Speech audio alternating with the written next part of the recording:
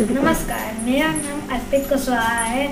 मैं I P E M international school का कक्षा तीन का छात्र हूँ। मेरी कविता का शीर्षक तारे हैं।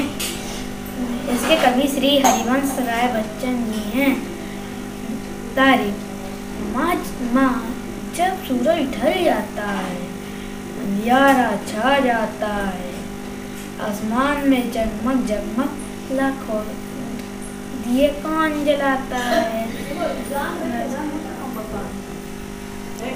रात बीतने पर सपनों की सूरज चमकाता है। जो सोने चांदी की किरणें जैसे धरती पर फैलाता है। वहाँ जब सूरज ढल जाता है अंधियारा अच्छा जाता है। आसमान में जगमग जगमग लाखों दीप जलाता है।